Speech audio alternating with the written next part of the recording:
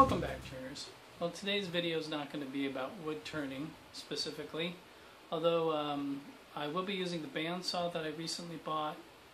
Um, I'm going to be cutting up some uh, logs which you know if uh, I were turning you know bowl blanks or making some other you know stock for turning uh, would be turning related. This is actually going to be a different kind of project. Um, I have uh, an opportunity to make some wood cookies, I guess they're called, or wood slices. Just basically slicing up the log to make some, I guess like oversized coasters for, you know, table decoration. Um, so I've got uh, a couple of logs. I got one here on my lap. In fact, let me show it to you. There it is. And it's got some interesting grain on there. I'm not sure what this wood is particularly, but they're cutting down trees like crazy at my workplace. And uh, they said I could have some. So I took some, and uh, now I'm going to be making wood cookies. So anyway, uh, I thought this would be a, a, nice trial for the bandsaw as kind of a first project. So uh, let's let's take a look at the bandsaw a little bit, and um, I'll tell you a little bit about why I bought it.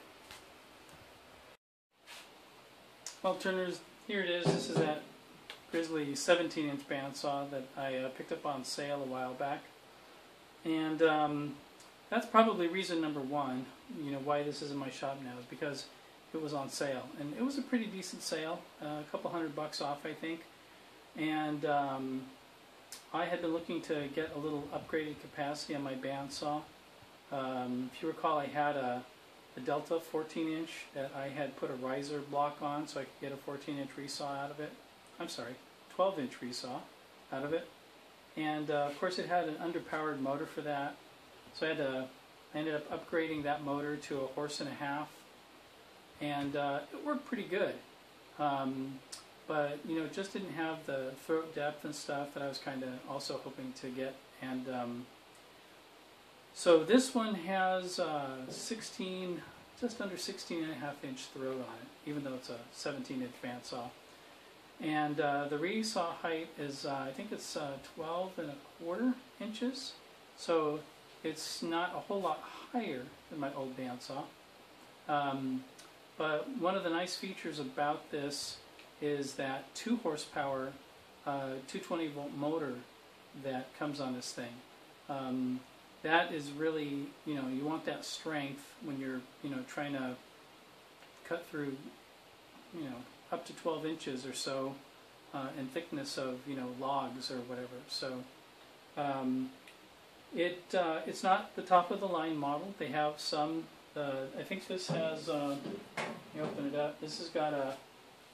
This is a cast aluminum wheel, set of cast iron. Um, still, you know, it's considerable. Uh, it's um, also got the table. Let me see if I can point you down a little bit. There we go. Sorry about that. It's a cast iron table actually, so that's nice. Comes with a decent fence on it. Um, it's not the upgraded fence. You can get the um, you know the resaw fence. Uh, you know with the um, the higher fence. You know, frankly, I'm gonna uh, extend this fence a little higher uh, myself. Um, and that's not difficult at all to add a secondary fence onto this or, or a sacrificial fence for the resaw stuff. Um, other than that, you know, uh, I put it on a mobile base. I don't know if I showed you guys that, but it's on a it's on a Harbor Freight mobile base. Um, and, you know, I need everything in my shop to be mobile, so so I did that. Anyway, um, the uh, the saw um, I think I got it on sale. It was just over eight hundred dollars, and of course you have to pay shipping. And you know, uh, I don't have sponsors or anything like that, so I, this all comes out of my pocket. But uh, I'm I'm pleased with this saw. I've um, done test cuts on you know just some rough lumber, but nothing that you know is a log or anything like that yet. So why don't we go ahead and fire it up and uh, see if I can make some wood cookies. Alright turners, before I get started with the log cutting I thought I'd show you the uh, dust collection hookup that I did here. You can see that this has got a four inch port that's just under the uh, guide bearings, and um, then there's another four inch port down at the bottom. So I took a piece of uh, that flexible hose and a T, and then this is the line that goes back to my uh, dust collection ducting. So that's uh, that's what I'm doing for dust collection on this thing. Works out. It's a pretty easy hookup. So. Alright, so I've got the log up on the table. We've got the um, guard adjustment uh, to the right height. And um, this is green wood. It's uh, was just cut a couple days ago. And one of the reasons I'm going to slice it up now is because uh, I want to get it to dry um, within the next month or so. And um, I'm hoping that this would, I don't know if you can see the end of it there, it's got some checking already. I'm hoping by slicing it now that I can avoid some of that checking. If it doesn't work, I'll just find something else and, and use that. But I like the color in this, so anyway, what I got to do first is I'm going to cut this in half, and then I've got a fixture that's going to actually, um, something I made up a while back. It's actually, I designed it for slicing boards out of logs on the bandsaw, but I'm going to use it to actually take slices off the end of the logs. So I'll show that to you in a minute.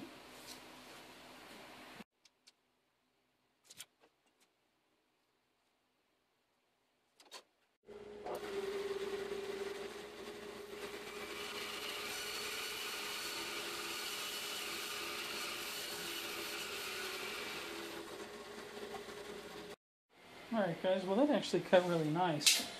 Um, if it looked like it was slow, it wasn't. I was slowing it down just to be careful, not wanting of course the blade to, it's a pretty heavy log, but pull the blade, uh, log into the blade, uh, being that this is a round object. But uh, this is not a bad cut. I mean for, for straight off the bandsaw freehand.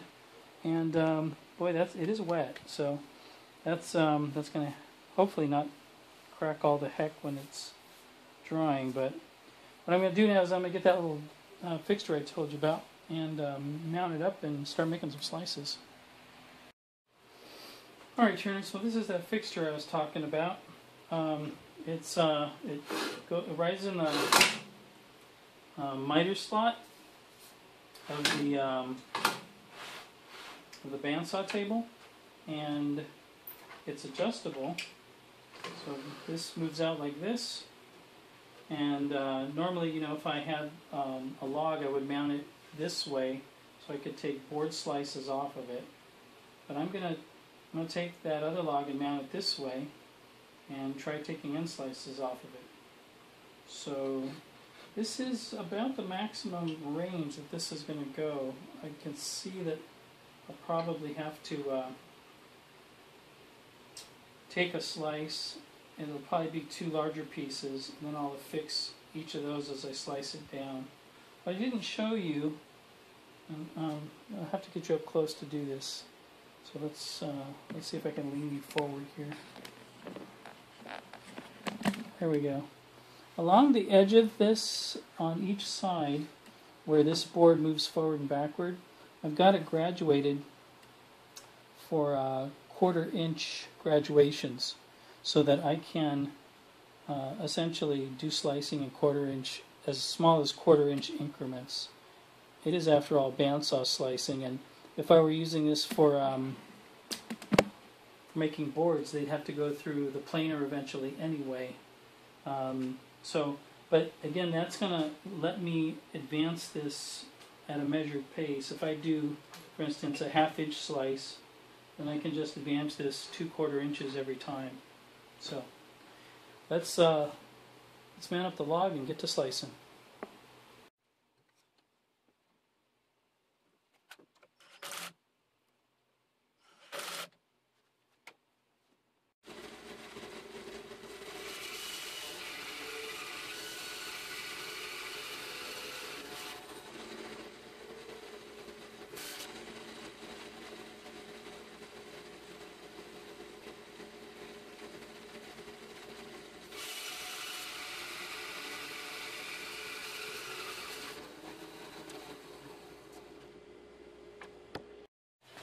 Well, turners, that doesn't look too bad. Um, I may make that a little thicker.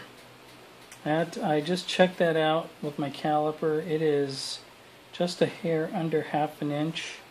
You can see there's already, you know, in the pith, it's already got a little bit of a stress crack there. I'm not sure.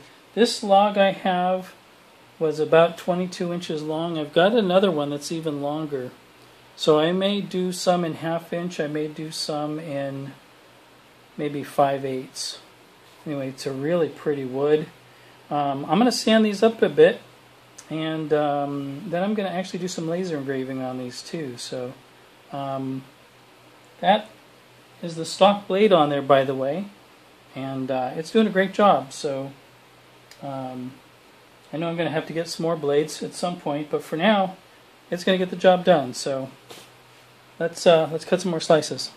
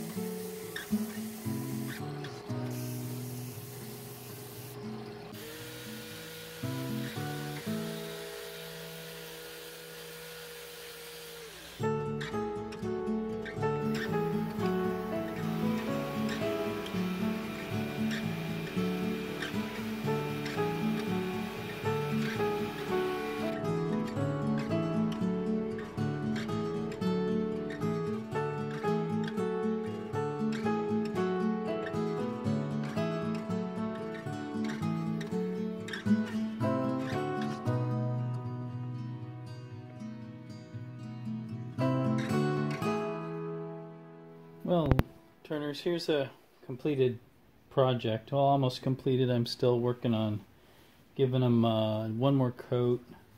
It's going to be um, a poly, uh, wipe on poly that I'm going to put on there. What I have on here so far is a tung finish, which really made the. See if I can do this without.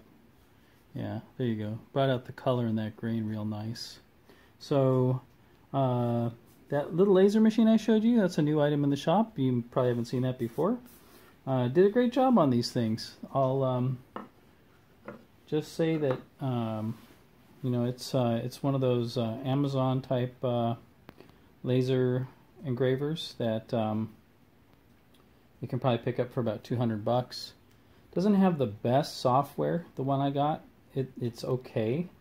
Um, but I would definitely look at one with a little bit better software package on it. But um, anyway, so uh, so that's a new addition to the shop. Might help me in some other projects like putting um, putting uh, maybe some uh, information on the bottom of the bowls that I make and other wood working projects like um, you know cutting boards and things like that. So anyway, so uh, wipe on poly coat or two uh, should uh, finish these up.